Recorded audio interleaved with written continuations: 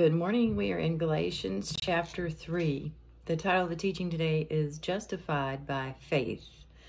Um, remember, at the close of our last teaching, when we were covering Galatians chapter 2, Paul had addressed that, um, that they have a righteousness that has been put on them as the children of God through their faith in Christ and not by the law. But he goes on here in chapter 3 to really get um, detailed and more specific um, in this same uh, thought that we are justified by faith.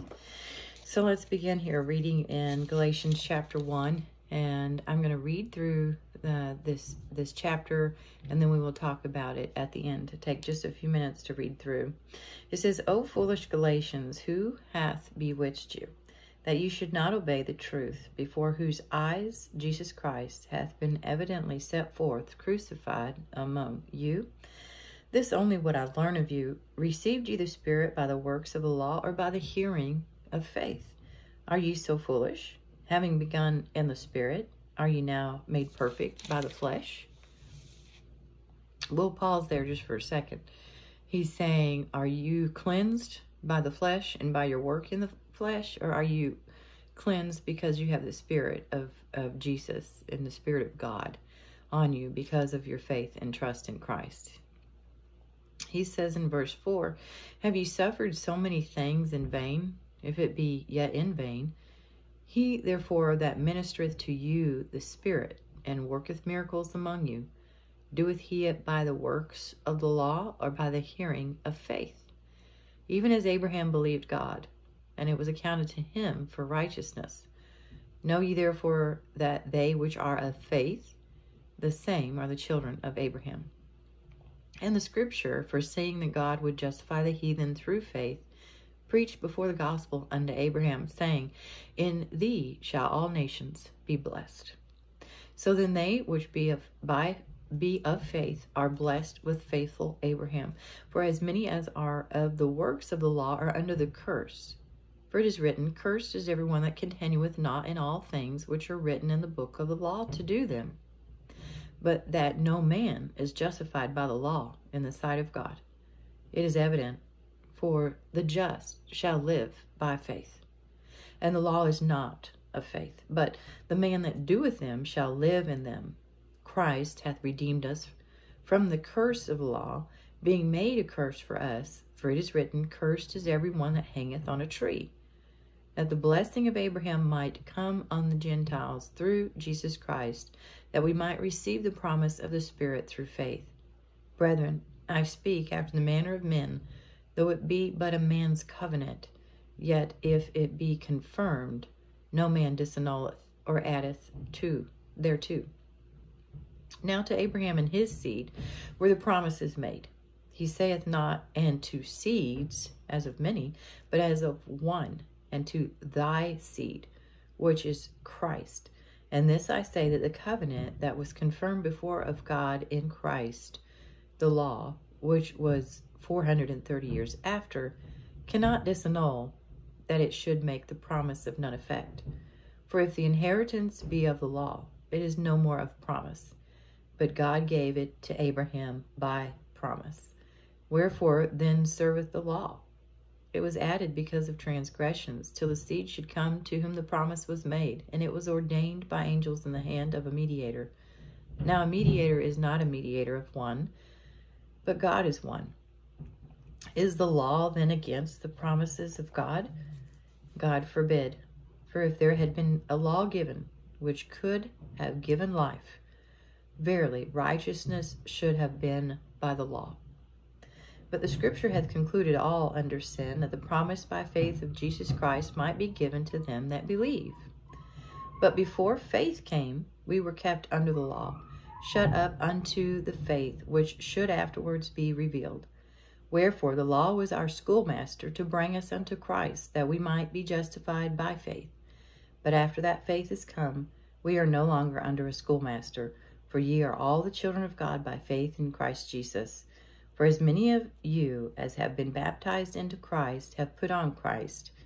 There is neither Jew nor Greek, There is neither bond nor free, there is neither male nor female, for ye are all one in Christ Jesus. And if ye be Christ, then ye are Abraham's seed and heirs according to the promise. Remember in our teachings prior, we really have been pretty thorough in covering why it is that Paul is addressing the church in this way, uh, continually reminding them that they are no longer under the old law, that Christ, the Messiah, had come, prophecy had been fulfilled, and they are now to live by faith.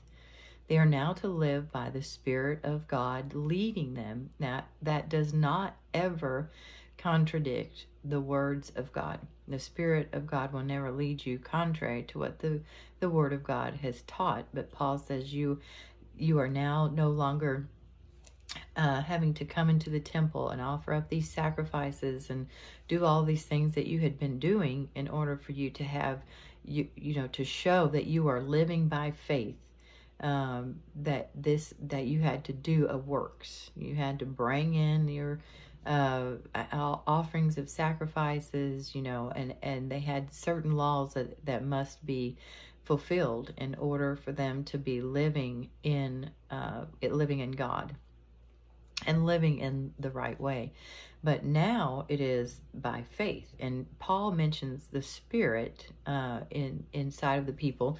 And one of the things in, in earlier in the chapter, um, he the spirit of the spirit of God uh, he mentions it, it is the Spirit through faith, the promise of the Spirit through faith there in verse 14.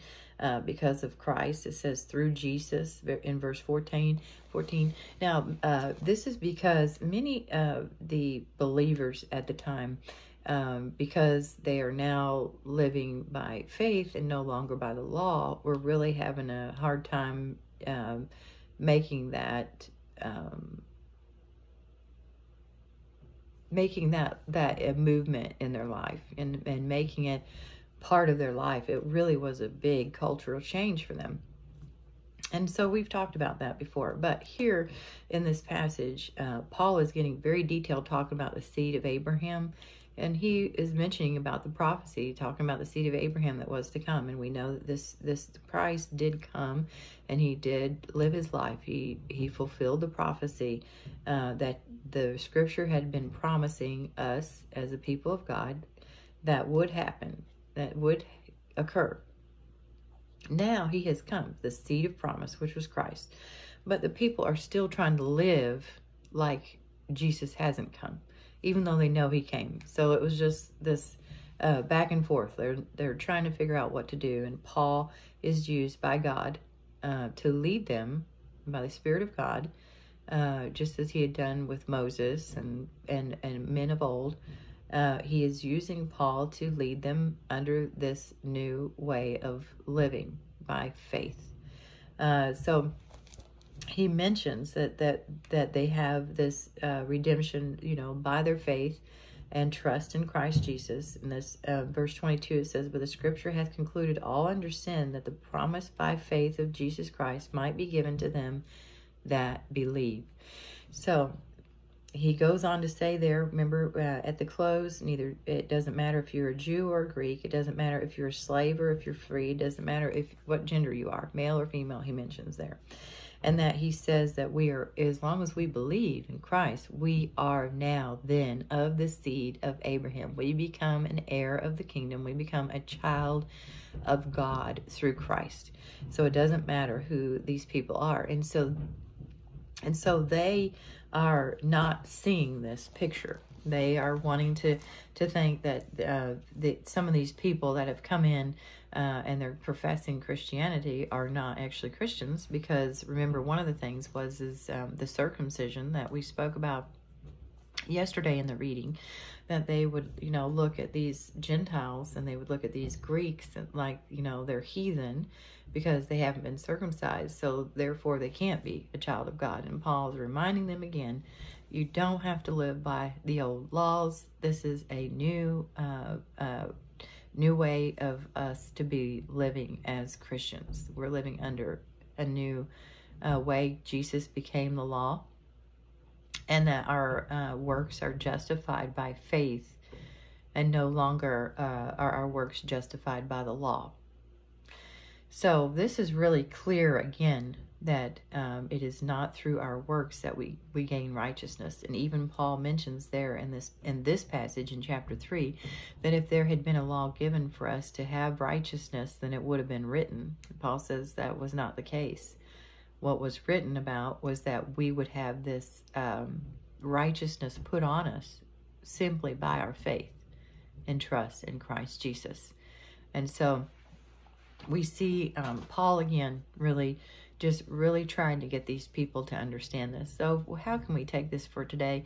Uh, well, as the scripture mentions here, we are justified uh, by our faith. We are forgiven by our faith and trust in Christ. And many, I know it sounds, um, uh, you know, you know, may sound ludicrous, but many people are still trying to live by the law and still trying to judge uh, others uh, by the law. Um, and but this is not to be. If if someone professes that they have uh, faith and a trust in Christ, then we can't look at their actions and necessarily approve or disapprove because even uh, even people of old in the in the Bible didn't always live as they should, but they were still children of God. Um, uh, even Paul at this time. You know, remember if if you had followed our teachings in First and Second Corinthians, there was a lot of sin problems within the people of the church, but they were still uh, covered by the blood. Now, when Paul says there, this is where I think it's verse twenty-seven. Yes, here's where some people may get confused. For listen to this: For as many of you as have been baptized into Christ have put on Christ. Um, this is where people um, often are confused by uh, baptism of the Spirit or baptism of water. And Paul is speaking very specifically of the Spirit here in this passage. This is not a baptism of water. This is a baptism of Jesus Christ, which is received by faith. And this is not a works. So it's not by uh, an action. It's not by going and getting baptized with water. He's speaking about the baptism of the Spirit. So the Holy Spirit comes to dwell in people once they profess that faith in Christ and they trust Jesus as their Savior. And that is that is the premise for us as Christians today that we uh, are no longer under the law, but we have the scriptures to live by because these are still um, a, a, way that we should should be living as Christians. Paul mentions that in his in his writings um, to the churches, and that we should, uh, you know, it should be clear who we are. That we should it should be clear that we are children of of Jesus Christ, and and in the way that we're living, people should see this.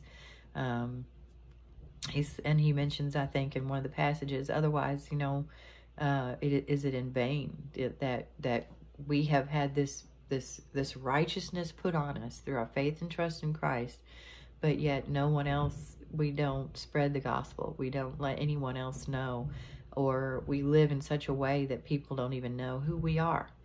Um, it's important for us to be living um, as children of God so that others can come to know Jesus too.